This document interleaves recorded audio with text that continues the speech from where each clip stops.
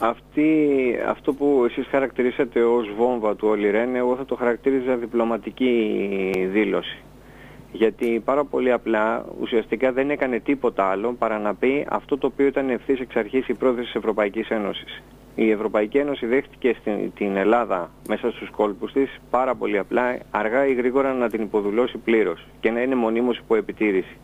Αυτή τη στιγμή το προ, είναι πρόσχημα και το χρέος και τα δανεικά και όλα τα υπόλοιπα για την είσοδο της Τρόικα, για το γεγονός ότι η ελληνική κυβέρνηση θα πρέπει να παίρνει μονίμως την έγκριση των Βρυξελών, κάτι το οποίο ούτως ή άλλως γινόταν και κατά το παρελθόν, απλώς τότε δεν γινόταν τόσο άκομψα όσο γίνεται στις μέρες μας.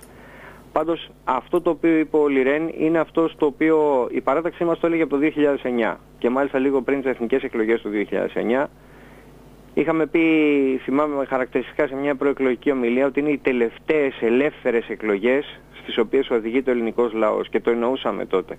Και ήταν πραγματικά ελεύθερες εκλογές με ποια έννοια, ότι ξέραμε ότι ή θα έβγαινε μια κυβέρνηση την οποία δεν την κρατούσαν αλυσοδεμένη τα συμφέροντα της Ευρωπαϊκής Ένωσης και των Ηνωμένων Πολιτειών, δηλαδή θα έβγαιναν άνθρωποι οι οποίοι ήταν έτοιμοι να πεθάνουν κοινώς και να κυβερνήσουν ή θα συνεχιζόταν το παραμύθι το οποίο το βλέπουμε τόσα χρόνια από τη δολοφονία του Καποδίστρια και μετά, στο οποίο άνθρωποι είτε της, Ευρω... της Ευρώπης είτε των Ηνωμένων Πολιτειών, εγώ δεν εξετάζω ποιο είναι το συμφέρον, το σίγουρο είναι ότι δεν είναι των συμφερόντων των ελληνικών. Δεν έχει να κάνει με αυτό το οποίο έβαλε τα θεμέλια τα οποία έβαλε ο Καποδίστριας. Δηλαδή τα θεμέλια της επιστροφής, της επιστροφής όλου του κόσμου στο χριστιανικό ιδεώδες και κατά συνέπεια στη σωστή διακυβέρνηση.